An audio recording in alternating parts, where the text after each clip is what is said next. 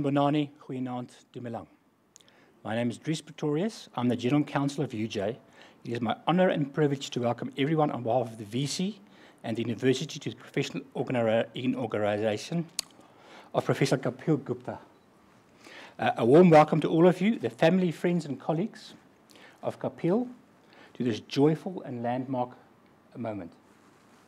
In particular, welcome to Professor Kapil Gupta, the inductee, Professor Daniel Mashau, Executive Dean of the Faculty of Engineering and the Built Environment, and Dr. Sylvester Bolokang, our respondent. Dr. Bolokang is the Principal Scientist at the CSIR. Also, a warm welcome to all members of Senate and other colleagues and guests who are joining us online. The inauguration of professors is a public ceremony in which a newly appointed professor is inducted into office and deliver their inaugural address. The ceremony for inauguration of professors has its roots in medieval universities and serves multiple purposes. Firstly, it's an expression of welcome and an entry for new professors joining the circle of colleagues who are already professors. Secondly, a, it provides a platform for the professors to display their expertise in the relevant discipline and showcase their research.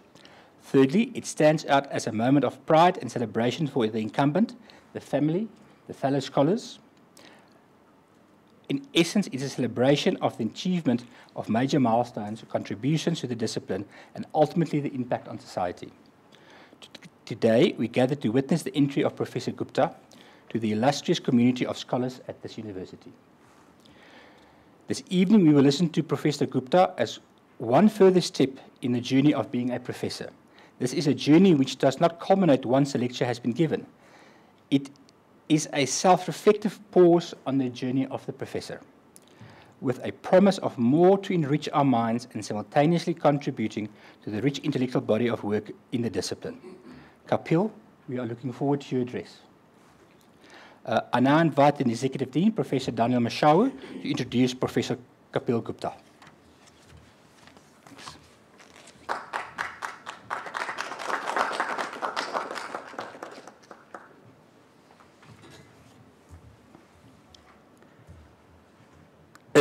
University of Johannesburg, it's indeed our great pleasure today to induct in the list of professors Professor Kapil Gupta.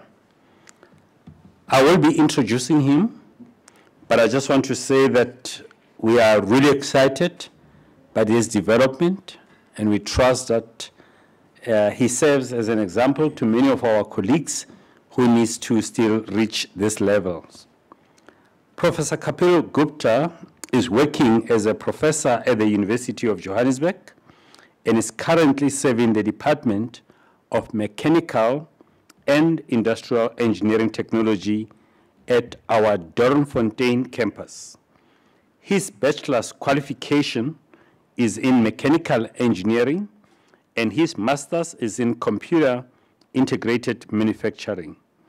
He obtained a PhD in mechanical engineering from the reputed Indian Institute of Technology, Indore, in India, with a specialization in advanced manufacturing. His PhD research was focused on advanced machining of gears by wire electric discharge machining.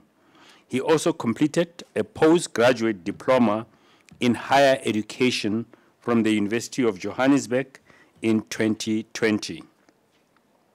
Professor Gupta has more than 10 years of professional experience in academic and research fields, modern machining processes, precision engineering, gear technology, and sustainable manufacturing, and Industry 4.0 are the areas of his interest.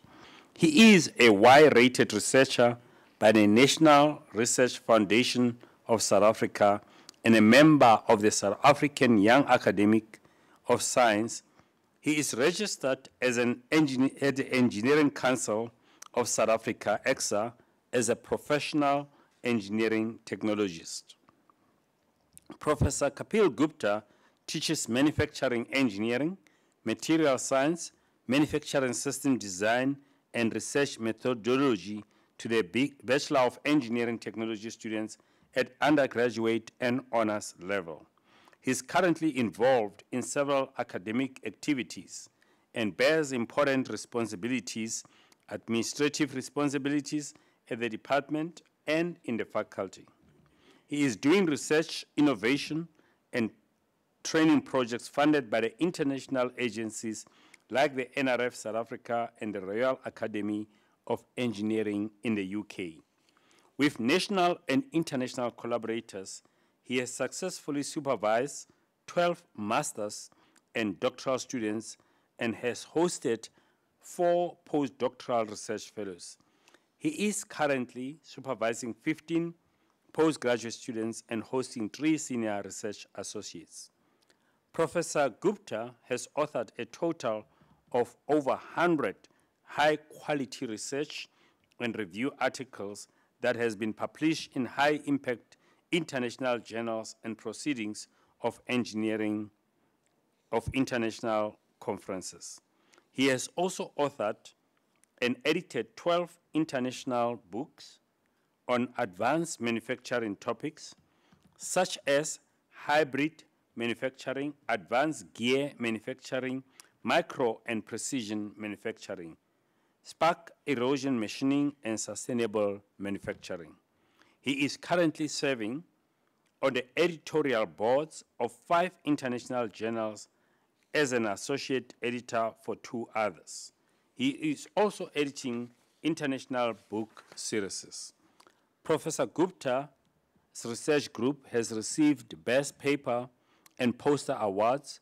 He is solicited by international institutes, universities, and societies for expert and keynote talks. Professor Gupta also actively participates in what we call SOTL, Scholarship of Teaching and Learning Research and Training, and has developed a virtual lab on manufacturing engineering for remote learning. His teaching and learning activities are aligned with Engineering 4.0 and Sustainable Development Goals. We are now, colleagues, going to wait and listen to Professor Gupta give us his inaugural lecture. Thank you very much.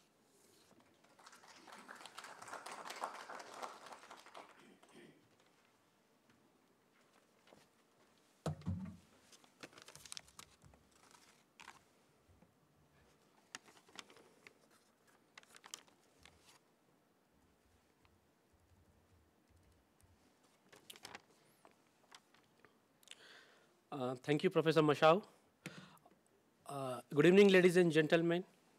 I would like to start with the uh, uh, tokens of gratitude. First of all, I would like to start with our General Counsel, Mr. Pretorius, uh, Executive Dean, Professor Mashau, my HOD, Professor Mashinini, our Head of School, Professor Gibani, other colleagues who are sitting here and who are watching online, my family members, uh, especially my parents, in-laws, wife, and uh, my son Anish and daughter Adya, and all my students, collaborators who are uh, at local and international level.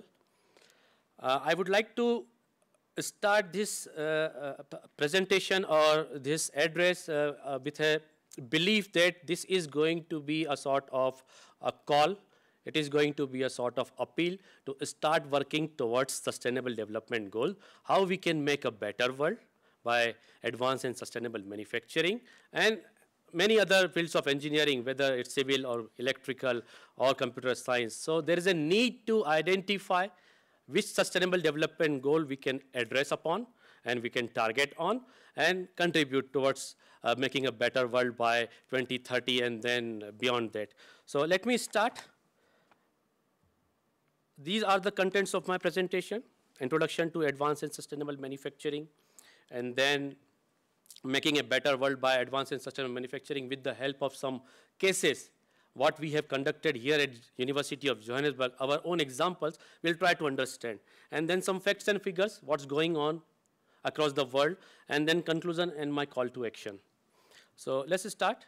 Introduction to Advanced and Sustainable Manufacturing. The very basic thing, manufacturing, the word manufacture has come from two Latin words. Uh, that is manus and factus, made by hand. It used to be made by hand, but now it is mechanization and automation. When we talk about the technological significance of manufacturing or technological importance, then a raw material is converted into useful product by implementation of manufacturing processes or operations. And manufacturing processes operations are used to shape, size, change the structure and the properties of raw material. The economical importance, if you try to understand, then the economical importance is a low value raw material is converted into higher value useful product. Now, if we talk about the contribution of manufacturing, then the South Africa GDP, gross domestic product, 2021 is 418 billion United States dollar. So the contribution of manufacturing is 13 to 14 percent, and it has been consistent since last three, four years. More than 10 percent contribution of manufacturing is there to the GDP. Now let's come on the manufacturing. So there is conventional manufacturing and advanced manufacturing. The very basic classification of manufacturing, if we talk about, then there are subtractive type processes, additive type processes, and uh, deforming and forming processes. Very basic classification is shaping operations and assembly operations. So those shaping and assembly operations are covered uh, into this classification that is subtractive, additive, and forming, and plenty of uh, inherent manufacturing techniques are there under these categories. There is another category that is very important, that is the surface property enhancement.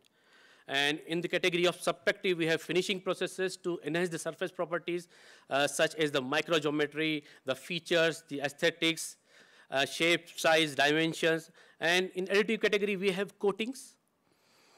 In forming, deforming category, we have the shock peening, laser shot peening, this type of operations. And other side, we have the heat treatment. So there are developments, there are advancements in conventional processes, and there are new advanced processes, modern processes as well. Let's go ahead. Let's talk about the advanced and sustainable manufacturing.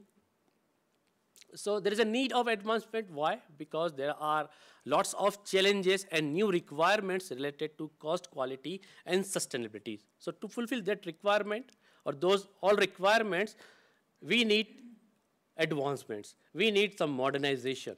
So that is advanced manufacturing. So there could be many such definitions of advanced manufacturing but what I could uh, develop is these advancements in manufacturing via incorporating intelligent, novel, and sustainable technologies with an aim to enable it to address the growing needs and fulfill the new requirements related to, as I said, cost, quality, and sustainability. So there are lots of branches in advanced manufacturing itself. Sustainable manufacturing itself is uh, uh, one of the tools of advanced manufacturing. And I believe, I understand that this advanced and sustainable manufacturing, both are the tools of Industry 4.0. So in advanced manufacturing itself, uh, there are smart manufacturing, artificial intelligence, automation, mechatronics, advanced joining processes, micro-precision manufacturing, surface engineering, modern machining, additive manufacturing, these type of technologies. So sustainable manufacturing is one of the tools. Now, what is sustainable manufacturing? So as the name implies, something is done to bring the sustainability. So what that sustainability is, we'll talk about sustainability as well, but what the standard definition of sustainability. So the uh, standard definition of sustainable manufacturing is the creation of manufactured products using processes that minimize negative environmental impacts, conserve energy and natural resources, and are safe for employees, communities, and consumers, and are economically sound. So there are basically two aspects. Aspect number one is the manufacturing of sustainable products, green products. And aspect number two is sustainable manufacturing of all products. So sustainability related interventions that we'll talk about. So what type of interventions, with the help of some examples, I'll try to explain. Let's go ahead. I think here it is also important to discuss something about little bit about uh, industry 4.0. So industrial revolutions, industry 1.0 to industry 4.0, it started in 1784. So it was basically governed based on um, the steam power, first industrial revolution, then second industrial revolution based on electricity, third one, computing. Now fourth one, we are in the era of fourth industrial revolution, industry 4.0. So this industrial revolution is for all business processes. But subset is the industry 4.0 for manufacturing processes or you can say for production. So the pervasive use of digital technologies like cyber physical system and internet of things to manage, track and monitor every aspect of business processes is the fourth industrial revolution. Now why to adopt? So there could be many reasons, but two important Reasons are to save time, reduce wastages, and to enhance efficiency and safety, and to increase uh, profits, and to stay competitive globally. But along with this, there are some limitations. So limitation number one is the dehumanization of industrialization. So that is, that is being taken care of by the technologies like cobots, collaboration of human and robots, so we started talking about Industry 5.0. Now, the another biggest disadvantage is environmental degradation. So to cope up with this, to overcome this challenge, sustainable manufacturing is in place. Now let's go ahead. So a little bit more about uh, uh, fourth industrial revolution. The uh, term fourth industrial revolution was first coined by Klaus Schwab in 2015 uh, of the uh, World Economic Forum uh, meeting. And then the definition of uh, fourth industrial revolution we have already discussed. There are uh, certain tools. So like simulation, cloud computing, advanced manufacturing, system integration, cyber security, IT manufacturing, augmented virtual reality, mixed reality. These are some tools of uh, Industry 4.0. If we try to understand with the help of a very small basic example, then in Industry 4.0, what is happening? The information flow is cross. Customer can interact with the raw material supplier, customer can interact with the manufacturer, and then they all can participate in production of any product, manufacturing processes. So tailor-made products are possible. But it used to be a linear chain where customer has to rely on the manufacturer only, whatever is coming out, customer has to receive that only. But now you can see because of this digital technology interventions, the things have been changed and there is a a sort of uh, a variety and quick response and, and uh, uh, savings and loss of wastages and these type of things are there due to this industry 4.0 so it has really changed our life in all aspects. As i said industry 4.0 is a subset of fourth industrial revolution we generally speak about uh, production and manufacturing. Let's go ahead and try to understand making a better world by advanced and sustainable manufacturing. So what that better world is? Better world means sustainable world where the equal opportunities and focus is on economic growth and social inclusion along with the environment protection. So it's not only the environment, it's the economy and society as well and how to address in terms of manufacturing. So with the help of various manufacturing processes, if we are focusing on reducing the cost of manufacturing operation or cost of product development, if we are focusing on uh, finding out some ways to uh, keep the environment neat and clean uh, with the uh, uh, workshop uh, technicians or with the staff therein, then we are also talking about the economic growth and social inclusion along with the environmental protection. Now, it is about the people, planet, and profit. We have to take care of all. A very basic definition of sustainability, sustainability is the ability to exist constantly or ability to continue a defined behavior indefinitely. But United Nations understands sustainability as sustainable development, development that meets the need of the present without compromising the ability of future generations to meet their own needs. Now, here it is important to go ahead and discuss about the Sustainable Development Goals because uh, in United Nations General Assembly 2015, 17 Sustainable Development Goals were set. Goal number 1 to 17, from no poverty to a partnership for the goals. And with a view that uh, we would be having a better world by 2030. That better world where equal opportunities and the focus would be on economic growth, social inclusion, and environment protection. So here there is a need to uh, connect with these goals based upon our specialization and the field we are working in. So uh, being a manufacturer engineer, being a professor teacher, I can relate with goal number four, quality education. I can relate with goal number nine, goal number 12. And goal number eight. So we'll try to discuss how these are related and how we can make an impact. So here, advanced manufacturing and sustainable development goals. So as I said, we need to relate, but here what I find is goal number 17, partnership for the goals, is a key by which you can address other goals or you can make contribution towards other goals. Like what other goals? So goal number three, good health and well-being. Quality education, goal number four. Goal number eight, decent work and economic growth. Industry innovation and infrastructure. Goal number 12, responsible consumption and production. Here the targets were these for what? Because the intention is to conserve water, soil, energy, to protect the climate, to reduce the waste, to reduce the cost, and enhance the health and safety. By how? By upgradation of industries and infrastructure, by strengthening the scientific and technological capacity, and enhancement of research and working towards sustainability. So in advanced manufacturing, how we can do that? We can do by developments in technology and machine tools by process hybridization, hybrid manufacturing, by process optimization, intelligent monitoring and control, and material recycling. So there are lots of tools and techniques in advanced manufacturing itself, like life cycle engineering, green machining, hybrid manufacturing, energy and resource efficiency-based techniques, intelligent manufacturing, uh, soft computing and statistical optimization techniques, and uh, many other remanufacturing and recycling type techniques. Uh, let's go ahead and try to understand with the help of example number one, that is case one, how to make a better world by advanced and sustainable manufacturing. Case number one, advanced and green machining of difficult to machine materials. So there are difficult to machine materials like titanium, nickel alloys, and various soft materials as well as like aluminum, magnesium. So there are challenges related to the conventional machining. So to overcome those challenges, we need to bring some novelty. We need to bring some advancements. So when we talk about the conventional machining, so in conventional machining, if we are bringing the tool treatment, tool texturing type of techniques, then yes, we are bringing the uh, sustainability interventions. We are talking about the sustainability and advanced manufacturing. If we are cutting difficult to machine materials with the help of uh, sustainable lubrication techniques like minimum quantity lubrication, cryogenic cooling, then yes, we are talking about sustainability and we are targeting towards goal number 3, 9, 12, and 8.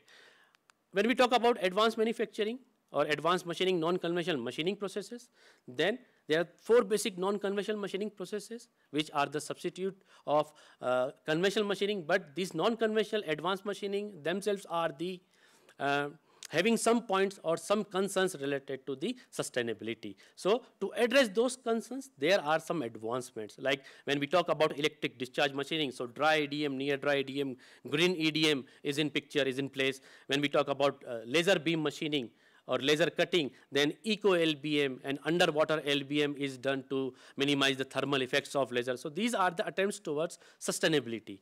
When we talk about abrasive water jet machining, so this itself is an advanced machining. But in order to bring the sustainability, there are interventions like ice jet machining. So in place of abrasive particles, we use ice particles. So those particles, there is no tension or there is nothing related to the uh, recycling and they are very safe from the point of view of machining soft material. When we talk about electrochemical machining, then green electrochemical machining, uh, sustainable uh, electrolytes are there for electrochemical machining. Pulse ECM we can go with.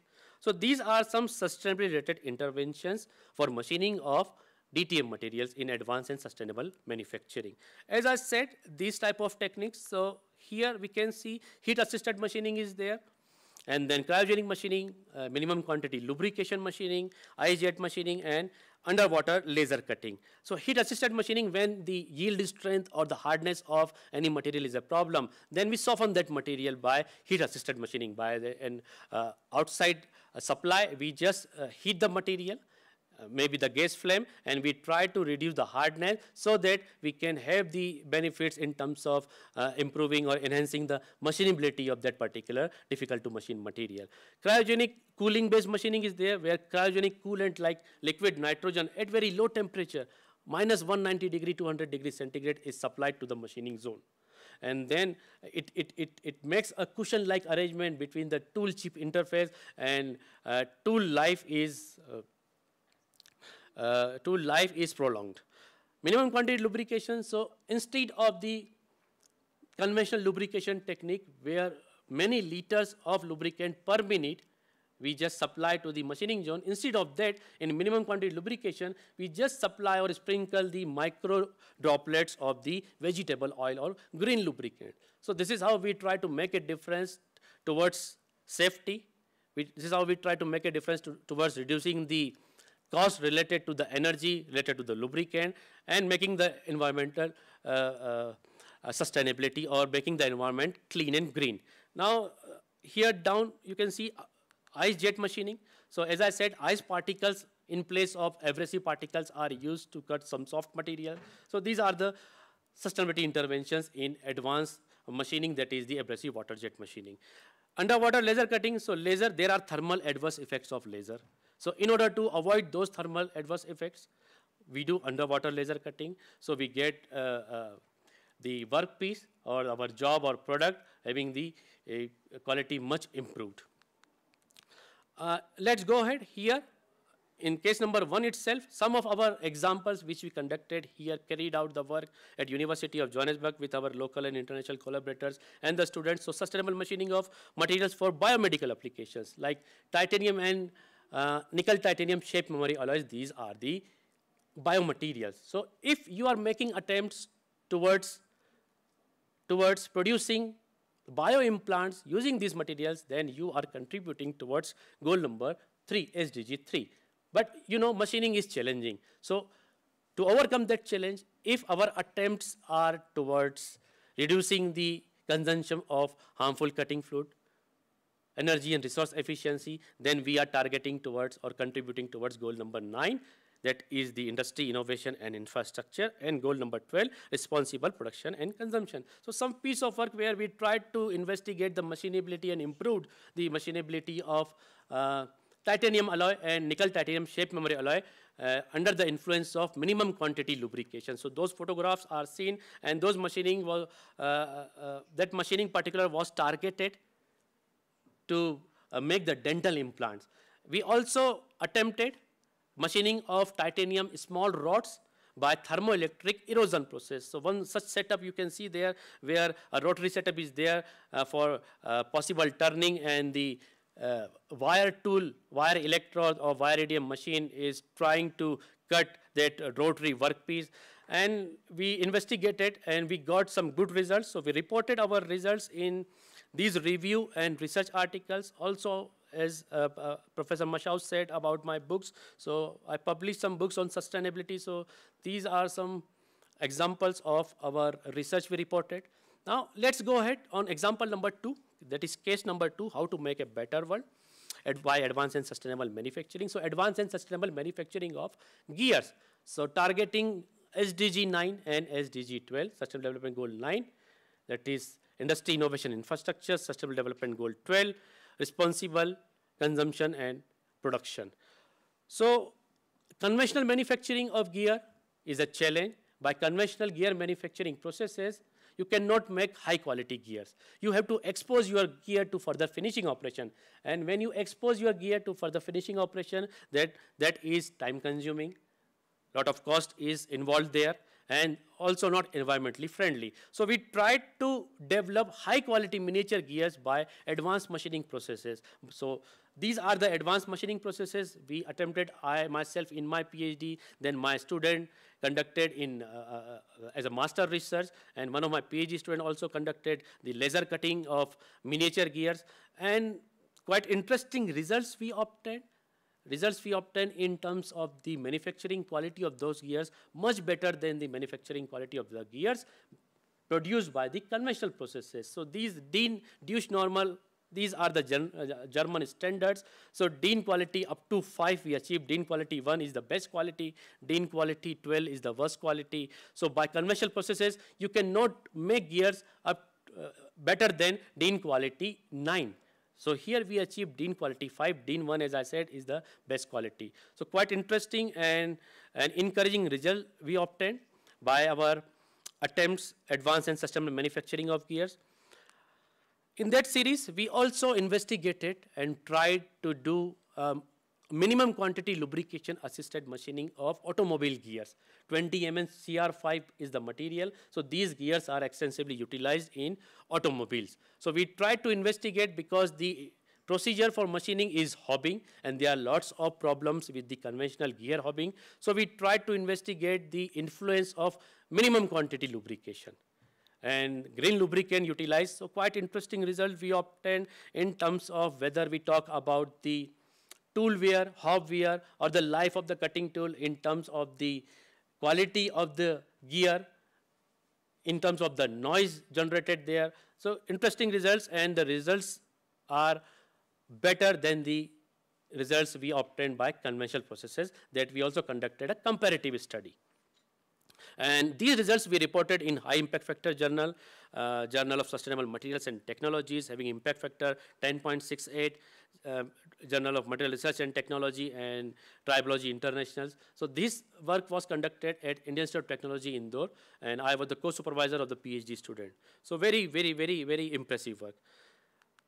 And work related to advanced and sustainable manufacturing of gears is reported in those review and research articles. I also edited um, these international books, one as the lead editor, Sustainable Manufacturing for Elsevier, one as the second editor, uh, that is on Spark Erosion Machining for CRC Press. Now, let's go ahead and try to understand in other way how advanced and sustainable manufacturing for a better world. So here, case number three, example three, uh, targeting goal number four, quality education, and Goal number 17, partnership for the goals. Although I said 17, partnership for the goals is a key, utilizing which you can target other goals. So quality education, so here we carried out two teaching learning based projects.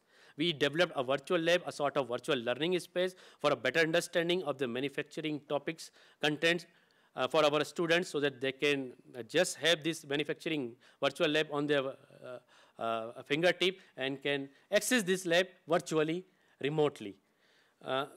Here, I just wanted to play a few of the animations we developed here. So these are the indigenously developed animations we developed here at University of Johannesburg. I'm trying to, but yeah, it's okay. So I think let's go ahead. So this virtual lab was having the uh, comprehensive uh, learning management system where animations, videos, quizzes, with the help of which we tried to communicate each and every aspect of the manufacturing process, which were the part of that course content. Uh, I myself completed PG diploma in higher education and completed uh, two short learning programs. One is on African Insights and other one is on artificial intelligence in the 4IR. So this is how we can make an impact. So these are the advanced manufacturing related contents uh, in manufacturing engineering virtual lab. Now partnership for the goals. So yes, my students, my colleagues, these are my first partners and visiting academics and my local and international collaborators and South African Young Academy of Science, South African Institute of Industrial Engineering, where I'm the, I am a professional member, South African Institute of Mechanical Engineering, South African Society for Engineering Education, Engineering Council of South Africa, Royal Academy of Engineering, Krakow Institute of, of, University of Technology, where I'm a, a, visiting professor. So these are my partners. So partnership for the goals. I'm trying my best to collaborate and by this collaboration to sort out other goals. Uh, these are some institutes and companies uh, worldwide where I am uh, doing uh, joint projects related to teaching, academic, and research. I'm the editor uh, for two book series of CRC Press. One is on industrial engineering, other one is on advanced materials processing and manufacturing, and uh, seven international journals. Out of those seven, two international journals, I am the associate editor, and those are the reputed journals in the advanced manufacturing field. So this is about case three, example three. I tried to communicate how we can make a better world. Now example number four, the last one, where uh, little bit different. My HOD wants me to take care of the industrial engineering students as well because my department is in the mechanical and industrial engineering. So I also uh, do research in some of the aspects of uh, lean manufacturing which are industrial engineering related topics, but that are also in advanced manufacturing. So we are carrying out some projects related to ergonomics, lean manufacturing, and industrial safety. Uh, you might have heard about the 5S Japanese techniques, Seiri, Seiton, Seiso, Shitsuke, and Seiketsu. So these Japanese techniques are for neat, to prepare neat and clean workplace, to reduce the wastages, and to identify the defects and all these things. So we tried our best to make university workplace clean and green uh, in the campus where we are working. To, we started from our workshop, so we implemented these 5S techniques and lean manufacturing. A lot of projects are going on on ergonomics as well, and intention is to, the target is to reduce or provides or devise such a solution where we can, where we can reduce the occupational accidents and injuries thereby so that we can just try to contribute to saving the world's GDP because 3 million occupational accidents take place every year worldwide and huge loss to GDP because of breakdown and machine downtime and all these things. So one piece of work where we uh, presented our poster and we won the People's Choice Award of uh, uh, some uh, thousand US dollars uh, represented University of Johannesburg. And here, the condition of our workshop before 5S implementation and condition of our workshop after 5S implementation, so you can see the difference. So these are the contribution towards sustainable development goal number three, that is the good health and well-being, because minimizing the occupational accidents and the injuries, and sustainable development goal number eight, that is the decent work and economic growth. So trying to develop some uh, good work culture there, uh, safety for the technicians, for the students and all stakeholders. Now let's quickly talk about some facts and figures, what's going on across the world. So the overall ranking of the nations, United Nations, 193 United Nations, 2022 ranking based on SDG, where score 100 indicates that all SDGs have been achieved. So ranking you can see, Finland, Denmark, and Sweden are the top three countries, and South Africa is at 108. What is going on in South Africa that I'll also quickly discuss, and there is uh, university ranking, times impact ranking. So our university, University of Johannesburg, is standing at 69th position overall, and last year we were at first place for SDG 8, and we are number one in South Africa and number two in Africa. Now about the South African government. So South African government is uh, considering this sustainable development as a green economy, green economy as a just transition to a resource efficient, low carbon and pro-employment growth path. And lots of schemes are there, lots of plans are there, like National Strategy for Sustainable Development, and then environmental and cultural sectoral plan, strategic plan where nine priority sectors and areas have been identified by the Department of Environmental Affairs. These areas are like green building and the built environment, sustainable transport and infrastructure, clean energy and energy efficiency, and then sustainable water management, sustainable waste management, and government is quite active. So I'm sure that you know, maybe next year we'll be having the good position uh, as a nation worldwide. Now let's quickly see some challenges. So we know our uh, sheer size and rapid pace of our growth, this increasing population and the accelerated demand are the problems, are the challenges.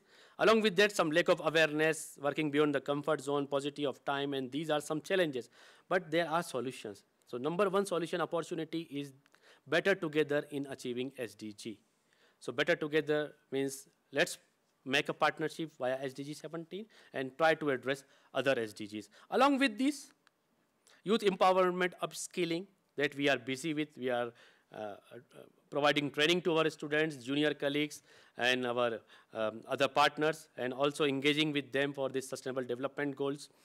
SDG advocacy dissemination, integrating SDGs into our teaching and research activities, training activities, research development innovations, and plans, policies, funding, scholarships, and interdisciplinary engagements.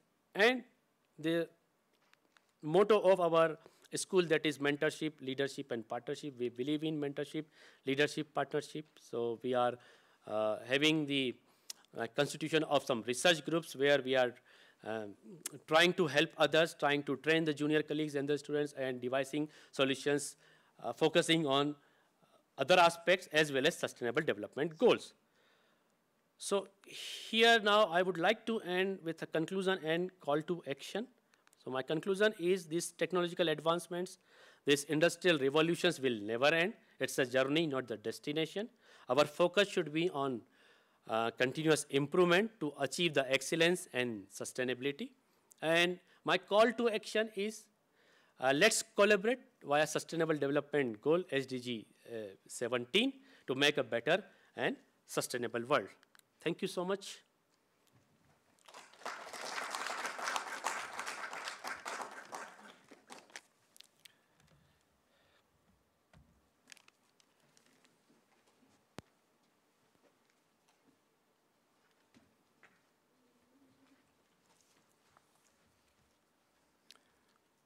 Good evening, ladies and gentlemen. Um, let me start by acknowledging the university executives, all the academics, uh, Prof. Gupta and the family, students and friends that are present here. In response to a presentation of Prof. Gupta, today is a spring day. The trees are turning green, the plants are turning green, and his presentation and his work is all about green economy.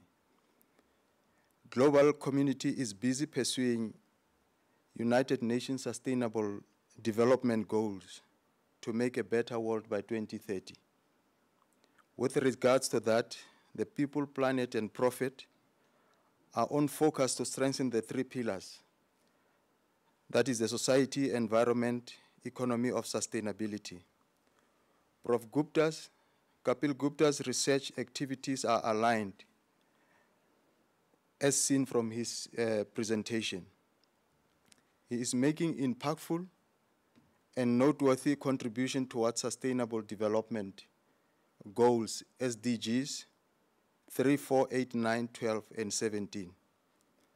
Advanced Materials Processing and Sustainable Manufacturing Based Project he carried out are indeed important to these new requirements related to cost, quality, and sustainability.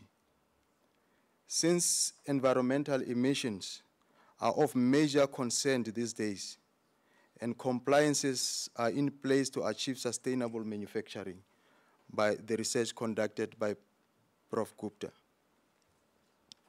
Moreover, global compet competition also entails cost minimization with quality enhancement. For all important industrial and scientific application, a wide range of difficult materials have to undergo extensive machining to make parts and components. Prof. Gupta is busy devising new advanced and environmentally friendly solutions to materials that are produced to materials at low cost and with less environmental footprints. As evidently shown uh, from his publications, the results of his research, are useful and very impactful, and they impact uh, his peers globally, not only to new uh, knowledge generation, but also the kind of review articles that he is writing uh, with the citations that are acquired by international peers. Green manufacturing strategies such as dry cutting and MQL-based machining, modern manufacturing and process optimization, and hybridization are the new ways of bringing advancement in conventional manufacturing. To establish such strategies and techniques for, for commercialization and regular usages in manufacturing, the attempts that are made by Prof. Gupta and his team are effective and helpful. Green manufacturing is very important and it is the language of all researchers across the world because of the challenges that we encounter in our environment. Since one cannot uh, imagine operations of any industry without a gear. Prof. Gupta have been contributing significantly into that area. To fulfill requirements of cost quality and sustainability, advance in sustainable manufacturing of gears and optimization of gear manufacturing processes are of significance. And when manufacturing is alive, we know that uh, how it is impacting to the economy, uh, especially the joblessness that we are facing in South Africa. Therefore, Prof. Gupta's research is aligned to that, where he has carried out an extensive investigation on novel manufacturing of gears using modern machining processes like abrasive water jet, um, laser, and thermoelectric discharge machining. The outcomes of his investigation are quite interesting and considerable when finding alternative to traditional gear manufacturing processes. To add more on that, we, we have noted from his presentation how he contributes to, to the knowledge in terms of books that he is writing and editing. And I'm actually uh, have a chapter that is an editor to that book as well. I would also like to highlight and appreciate his attempt is making for advanced manufacturing skill transfer to his students, junior colleagues, and other partners. Since advanced manufacturing is a critical skill in South Africa, there is a need of experts in this area who can conduct research, not only research, but also product development, innovation, and increase the training skills shortage that we, we, we experience in South Africa. And Prof. Gupta is one relevant professor that is playing in that role. I would like to finish with a saying that Prof. Gupta contribution to quality education, research and innovations, training is very impactful and beneficial to University of Johannesburg, South Africa, and partners, including the international world.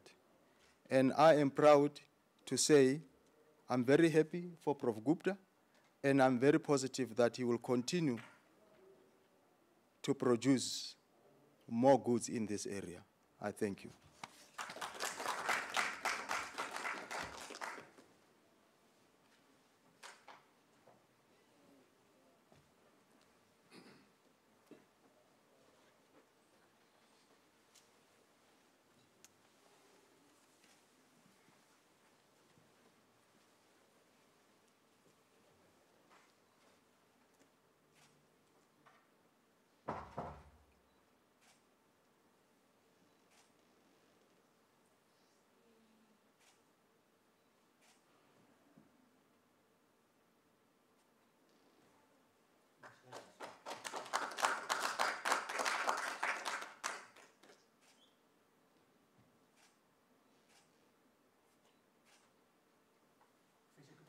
myself personally, uh, my personal congratulations from the UJ. Congratulations on this milestone